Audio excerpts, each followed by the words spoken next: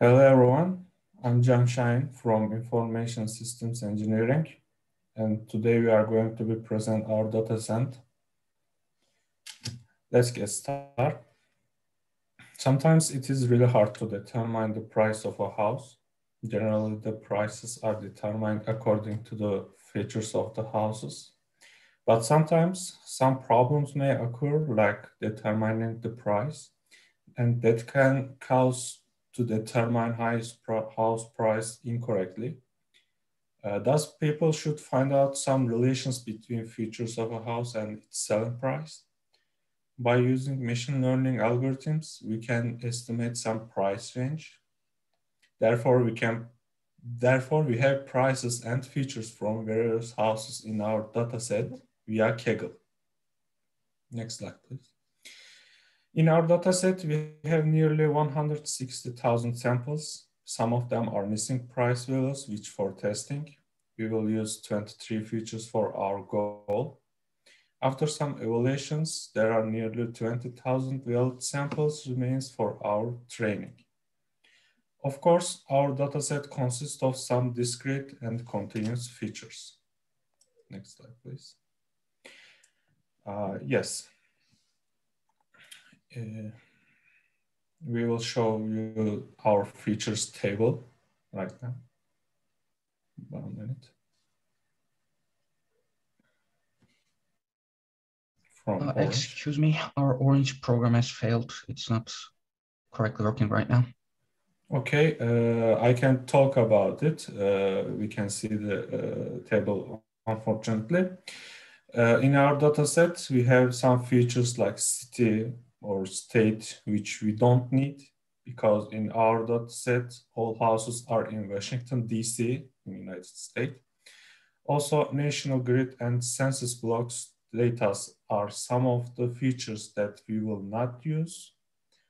However, in our data set, we will use some features like sale num, square feet, AC, heat, rooms and etc because it affects the house house prices uh, really uh, big.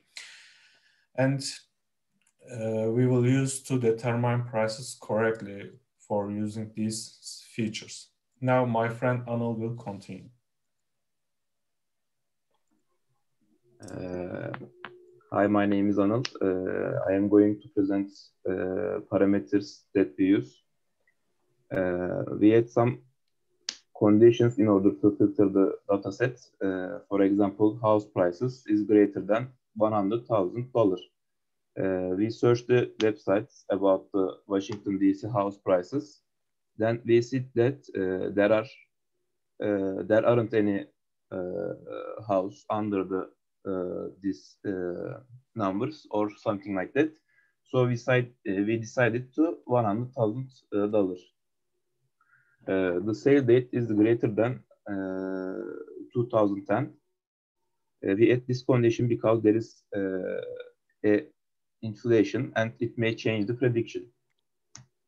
The living area in square feet has to between uh, 100 and 10,000.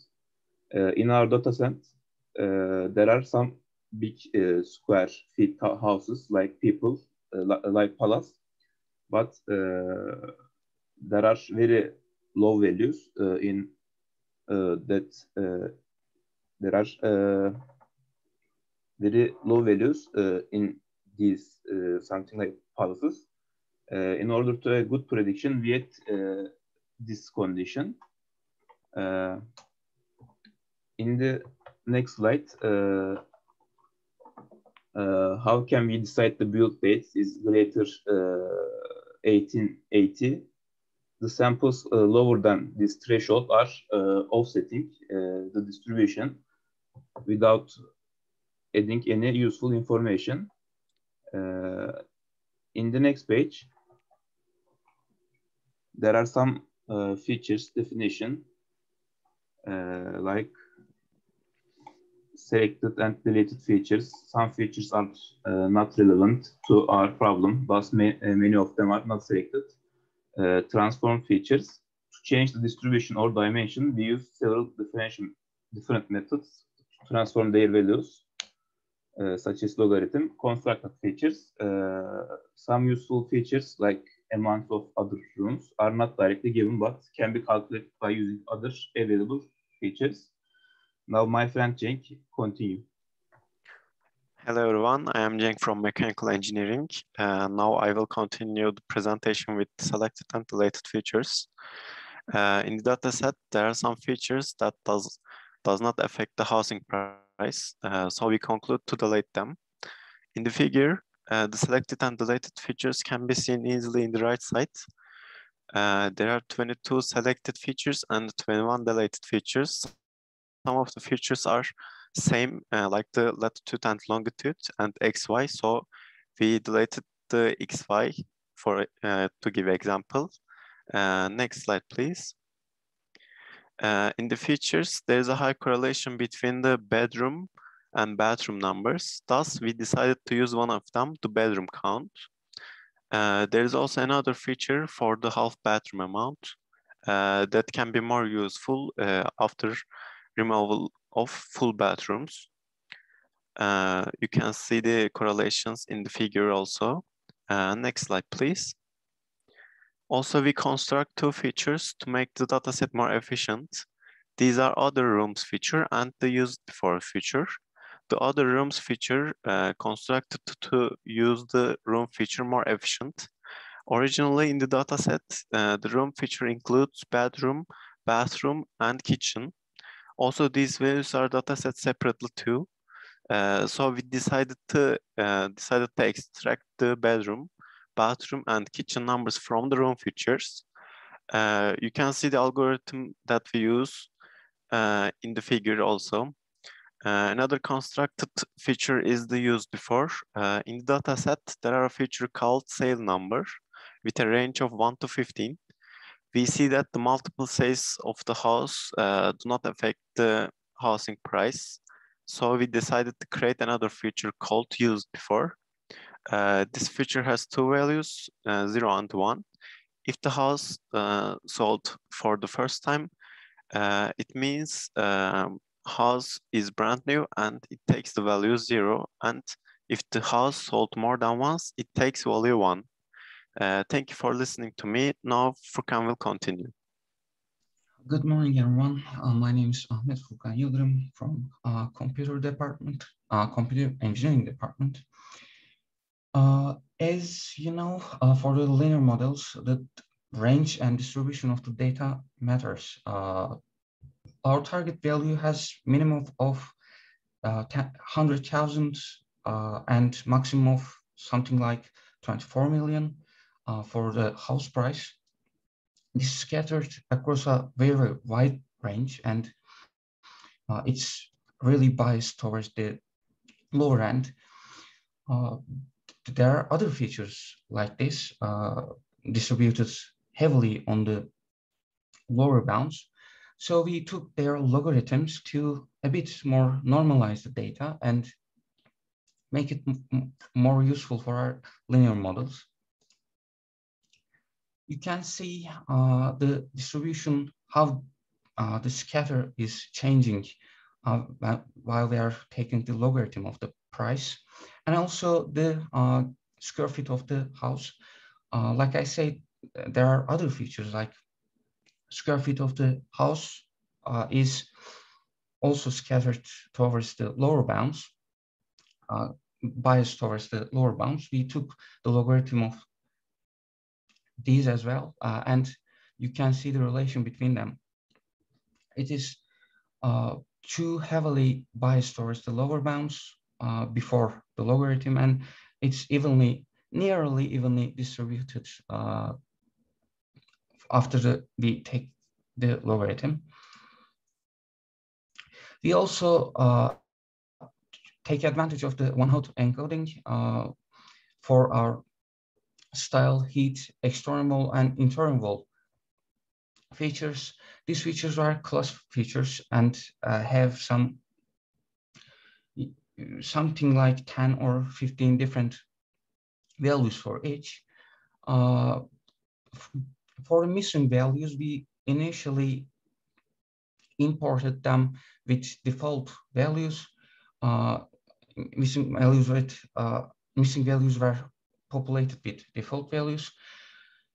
And uh, after we examined, uh, the missing value count is very low, like uh, four in 3000.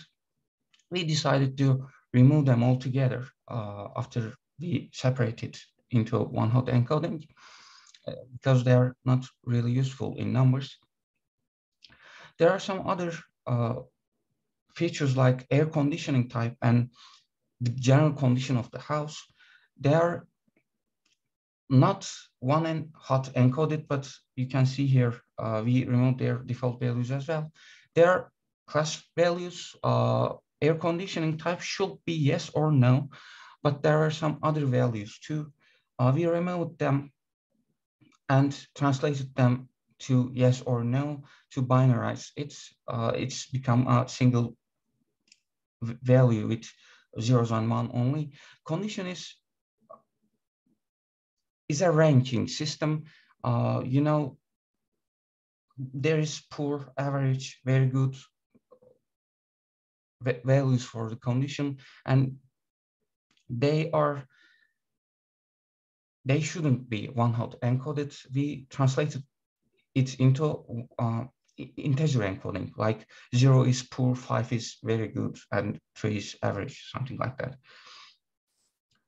Uh, you can see a screenshot of the data table uh, after one hot encoding applied to the heat feature.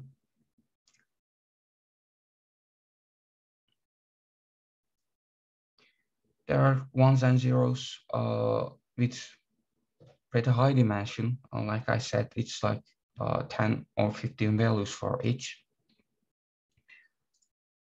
Uh, that concludes our presentation. Uh, thank you for listening. We will answer your question from now on. Thank you for the presentation. Any questions? Yes, sir. Can I ask a question? Yes, please go ahead. Uh, there was a slide that about uh, you coded some. Uh, can, can you go back? Yes. yes. Uh, here. Uh, you said that uh, used before equals zero if sale number equals one or else one. Uh, if if you do it like that, aren't they gonna give us the same information because they cannot uh, coexist uh, uh, in one number? well, I mean, they can't both be zero or both be one. So if they are always opposite, they give the same information. I see. Uh, I can answer the question or the my friend that I explained the slide can answer the question. Uh, which can, one do you can prefer? Can Anıl reply this question?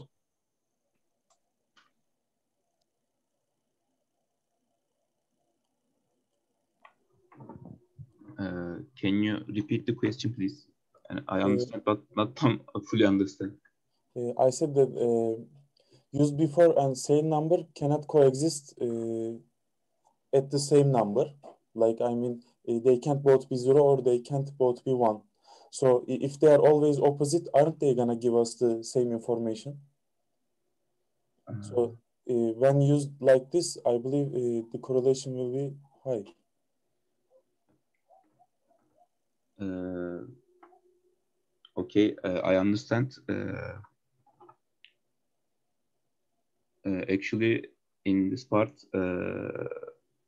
Furkan can uh, do Furkan uh, did, did this. Uh, I am not able to respond to the question, teacher. Yani, okay, Cenk Büker. Cenk Büker.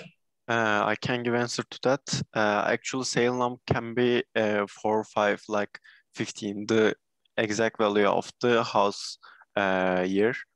Uh, yeah, it's like the, for example, if it is built in the 20,000, uh, 2000, sorry, it is uh, equal to 21.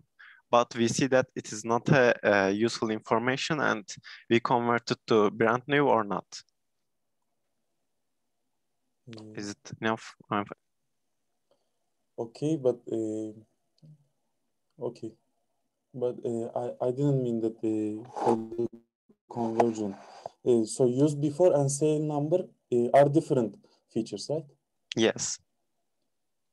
uh, since they are different features, uh, and uh, if they cannot equal to zero zero at the same time or equal to one one at the same time, they are always opposite. Yeah, so I understand now. Right? Uh, we don't use the sale number. We extract that feature and construct the new one. Okay.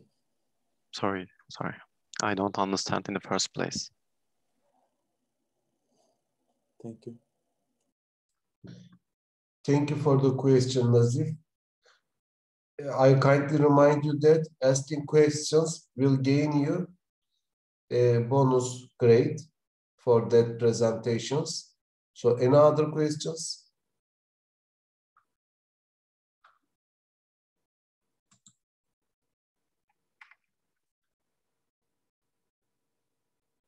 No questions? So, okay, then I will ask. If you have any questions, let me know. So I will give you the word for you.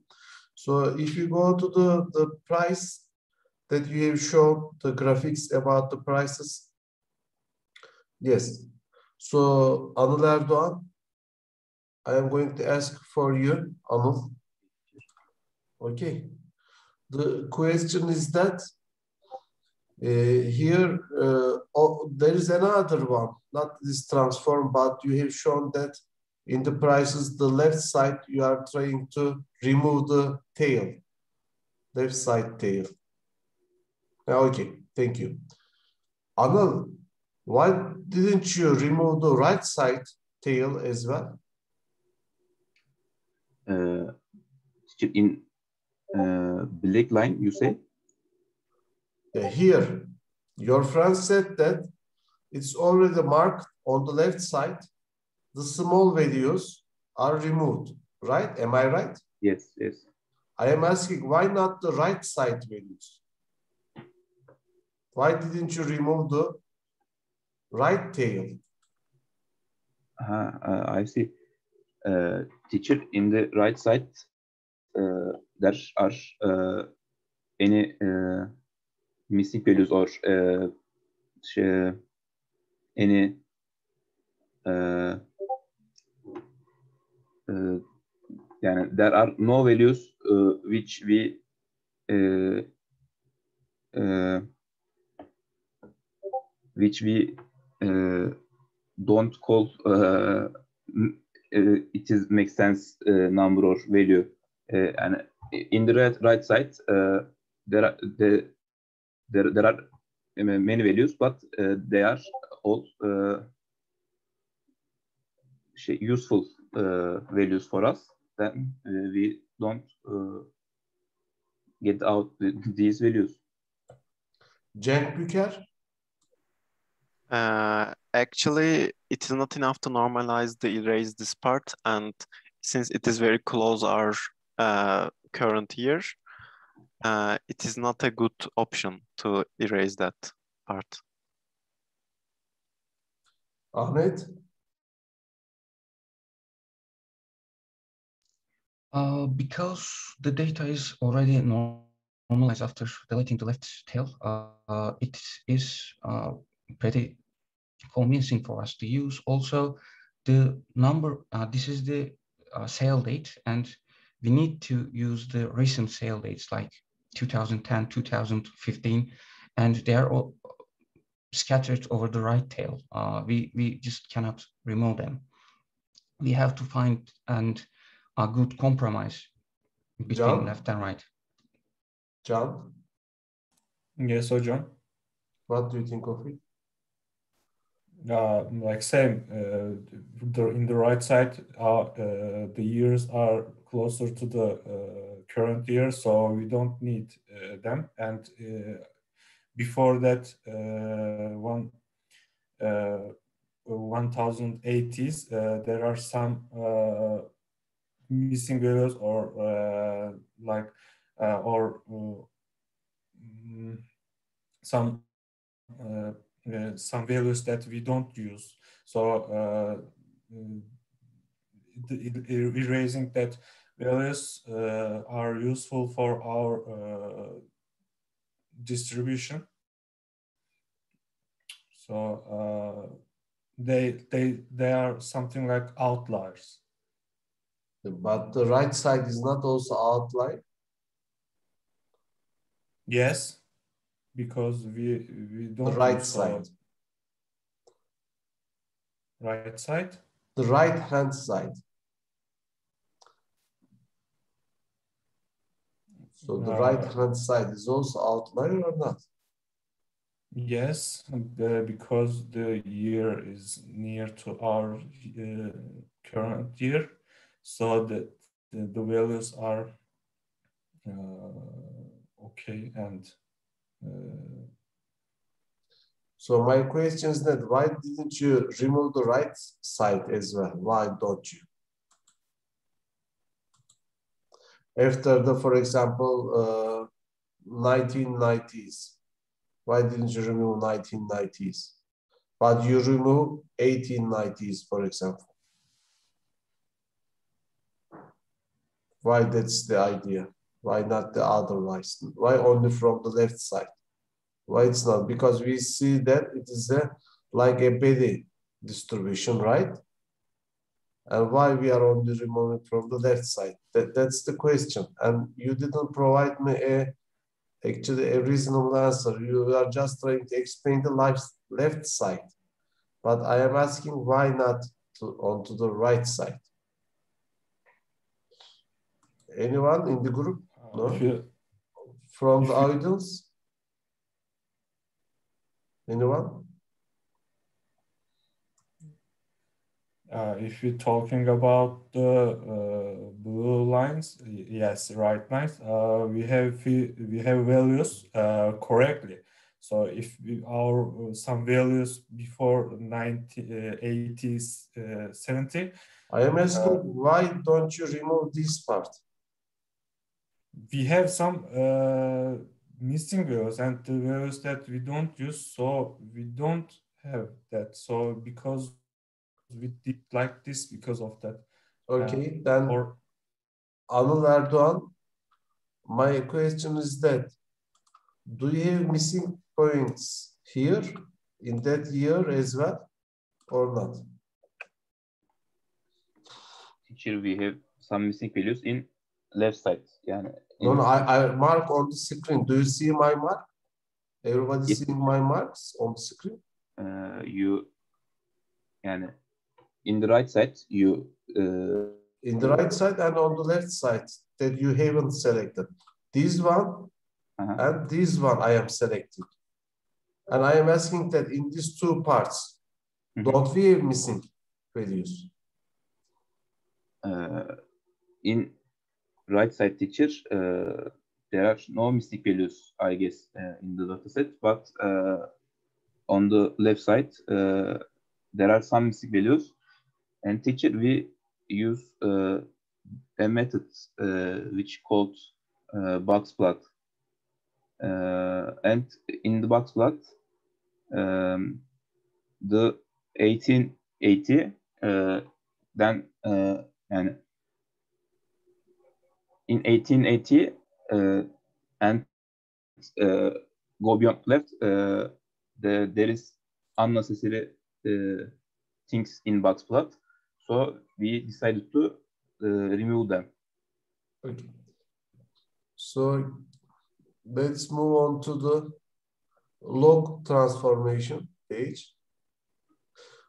By the way, any questions from the audience?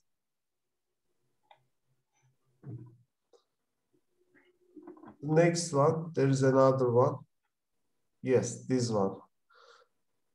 Anil, can you explain what's going on here?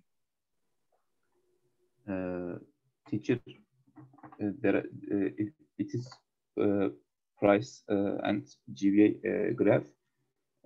In this graph the GBA uh, increase then uh, price is increase uh, linearly. We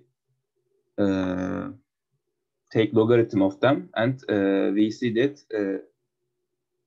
some ni- uh, nicer than this plot and it is increases linearly and we can observe that observe that uh, the uh, which GBA values the prices uh, increase smoothly Why did you try log values? Why didn't you try to get other transformations? For example, square root. Uh, uh, in log transformation, yani, yani we, we, we need we, uh, nasıl diyeyim? Teacher, we want to Why we don't, for example, divide by four? so teacher Why we didn't divide the price by four, for example? uh, Why we get the logger? What is the magic in logarithmic function? yeah, teacher, actually uh, the value is uh, intertwined and uh, split up to left. And yani we take the logarithm and uh, the value is uh, split. And we observe. If we divide by 10, wouldn't be the same? uh, I guess no teacher. Okay. Cenk Büker, Uh, actually, to make it more uh, linearized and equal to uh, distribution uh, in the left side, the without logarithm price, it is only the left hand side and very low on the uh, right above the graphs. Uh, there is very low example. And uh, when we take a logarithm of the price and both GBA, uh, we can linearize the uh, model and uh, we can see the plot easily. so my question is that if you divide by 100, for example, would it be the same? Uh, no, actually, Divide, because uh, uh, the GBA and the price by, for example, 1000. Wouldn't be the resulting graph the same? uh, actually no, because uh, we have less example on the uh, above from above the, for example, uh, seven hundred thousand. We are just taking the logarithmic of these numbers. Instead of getting the logarithmic of these numbers, if I divide by 1000, there is no changing in the samples. We are just changing the values of the samples, either by applying the logarithmic function or by dividing 1000. I am asking what's the difference? Okay. Okay, for John Shine, Uh, teacher, actually, we uh, take the uh, logarithm because we want to see scatter plot uh, more wider. Like if you can see the left side, the prices are all scattered to left and I uh, understand this. I am other asking that. techniques I didn't ask you why do you use logarithmic. I am suggesting you divide by 10,000, 100, whatever, 1,000, all these numbers. Then wouldn't be the result the same. Uh, no, because uh, if we take the other uh, techniques, the scatter plot are not uh, uh, uh, stands like this and like this linearly, and we can't see the uh, uh, places uh, Okay, why very not? well. And uh, I think it's in the uh, formula of logarithm. I think it's about the uh, 10, uh, uh, not ceiling, the flooring uh, logarithm uh, Ahmet uh, in the algorithm. Ahmet Furkan. I would like to answer, uh, if we uh, divide by 100 or any other arbitrary value, uh, it just changes the range, but doesn't affect the distribution. Uh, as you can see, there are some values way beyond the cluster. Uh, they just become outliers, but actually they are useful values. Uh, we have to take the logarithm to change the distribution into a more normalized form. Uh, it's nearly a Gaussian distribution like that. Uh, we, can see uh, they become more clustered at the uh, equally distributed, actually, at the tips of the cluster. I- i- it's too biased towards the lower bounds here. And after applying logarithm, it's more equally distributed uh, or normally distributed, uh, may I say? Yeah, okay, almost right. any anyone in the audience, anyone in the audience can give an example uh, explanation for that why we use logarithmic, not the divided by the uh, arbitrary number. Can I speak, teacher? Yes. Uh, I, I have an idea. Uh, I think it's because price is uh, exponential number. And since it is exponential number, using logarithm uh, is effective in this uh, Yes. example, I believe. Thank you, Nazif. I will give you one more. Now we have gonna have four bonus. Okay, three questions and one answer. So as Nazif already explained, if you look at the left side, the prices, please pay attention the, the scale here. Okay, so you would see that these numbers are in exponential orders. So these are changing between zero and 90,000, 90 million. I cannot read from here, but Nine million. the change is very big. You see that? And so if you look at the scale, it's in that scale and in that scale, okay? In both scales, the changes are too much. So, and they are not linearly changing, okay? They are the changes exponential. From mathematics, right? I think everybody knows that in mathematics. Let me put here. In mathematics, we have the linear change like that, and we have the exponential change. So up to some point later, the y values are changing incredibly fast than the changes in the x values. But in linear change, it is goes with uh, equal to with some uh, slope values, right? So if something is exponentially changing with respect to x given and output is y, so by dividing some number, it's a linear transformation, right? So when you apply a linear transformation for a, exponential function, it will not save you, it will not return to a linear one, but we would like to return this one, this one, to a, after the transformation, okay, let me put some color codes so you can follow, follow me. So we want to change this graphic into a linear one. Do you understand the problem? We want to change this XY relation, which is an exponential relation. The exponential means that when you give the X, then you will find some exponential of Y. Let's say 10 to the power X provides you the Y value. Assume, just assume that. But we would like to hear after the transformation, when you given the X, you can find Y as if Y a times x. That's the idea. Now this formula, you see that, for example, this formula is just an linear formula. Or you can put here another one, x square, for example, or x to the power 3, or like that. So these are, the both of them are different, but they are not linear. How can we change these two to that linear format after some transformation.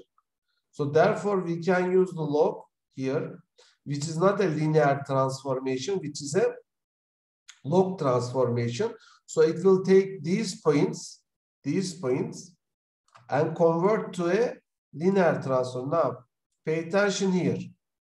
The numbers are get very low compared to these numbers, right? Yes. For example, 90 million here. Now it is maximum 16. Have you noticed that? Okay. All right. Yes. And then- right. All right. And then you see that because of this change, now it, it, it was actually look like that. But now it becomes this. So we use the log transformation to convert an exponential relationship or logarithmic relationship to a linear relationship. Am I clear for everyone? Yes, teacher. Is it clear for everyone? Yes. Okay. So that, that's the main idea why we do this. Okay. So the otherwise, if you divide by only 10, the values here, these values or these values, will not convert this because it will still be, right? After dividing all these numbers, it will be get like that, but still it's gonna be a, a exponential like, right? It's just the, the, the scalar values are changing. Okay, but we would like to transform it. That's the main idea. As Nazif already mentioned, that's important. Okay, and can you move on to the uh, next slide? Uh, so you have done applied the one hot encoding transformation. It's a very good idea. And next slide. Now you have new uh, uh, features you engineered and you created new features from the existing one. Bravo. Next. Uh, but if you go to previous ones, I think you defined the room numbers, something like that, a new formulation, a room number, uh, like this. Uh, Other rooms. uh, yes, these are also good ideas. Bravo. I really like it. But I guess, have you found these on the internet or you just yourself imagine it?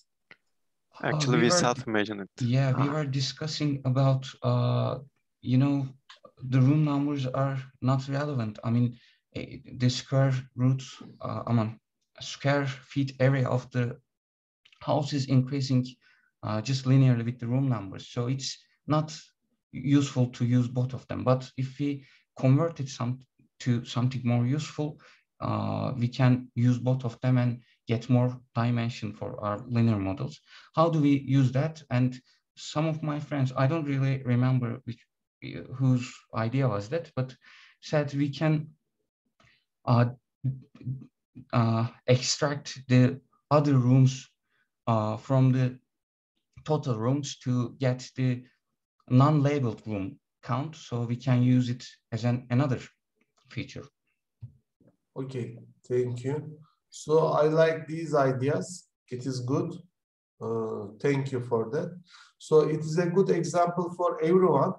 How can you focus on your features with regard to the target video and create a relationship as what could be the main idea behind these numbers, behind these columns, according to the we would like to, to be predicted, the, the values to be predicted.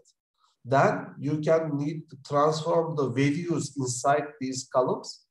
And also you need to create new values or remove the values seems to be unnecessary ones.